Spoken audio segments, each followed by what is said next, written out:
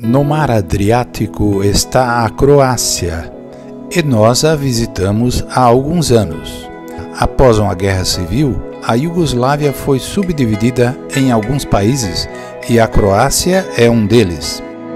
O dinheiro que usam é a kuna croata. Zagreb é sua capital, cidade mais populosa e repleta de museus, teatros, galerias e pontos turísticos imperdíveis. A Catedral de Zagreb é o edifício mais alto de todo o país.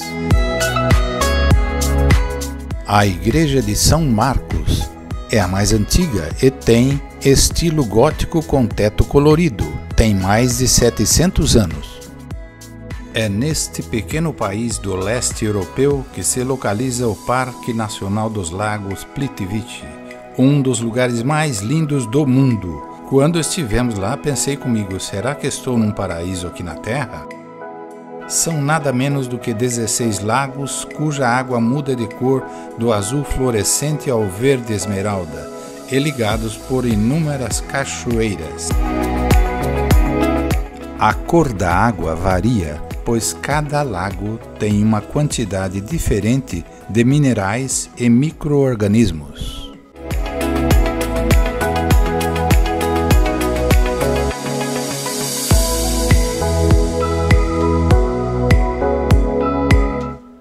Dubrovnik tem grandes muralhas do século XVI que cercam uma cidade antiga com edifícios góticos e renascentistas. A porta de entrada da cidade tem uma ponte levadiça, e lá dentro existe a farmácia mais antiga da Europa.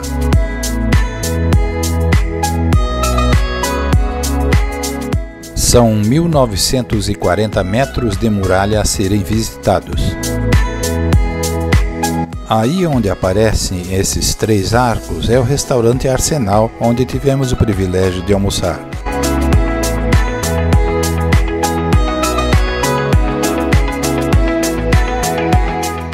Cenas da série Game of Thrones foram filmadas em Dubrovnik. Também estivemos em Kavitat, a 15 km ao sul de Dubrovnik, ideal para quem quer curtir um lugar mais sossegado. É bem pequena, linda e um ótimo lugar para quem não quer agitação. Em Pula, à primeira vista você se lembra do Coliseu de Roma. A arena desse anfiteatro romano era usada para batalhas de gladiadores comportando 20 mil pessoas. E chegamos à ilha de Pag. Para termos acesso por terra, precisamos passar por esta ponte. Pag é famosa pela produção do pasquisi, um queijo de leite de cabra que é caro, mas delicioso. Eles têm um sistema de divisão de propriedades feito com muretas de pedras. Devido ao tipo de solo, na ilha existem oliveiras centenárias. E é uma ilha bastante montanhosa. O imperador romano Diocleciano, nascido próximo a Split, mandou construir esse palácio no século IV Atualmente, lá dentro existem várias edificações.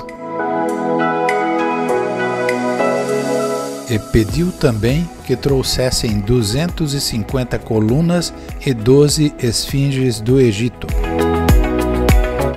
Quando ele se retirou da vida pública, no ano 305, passou a morar ali.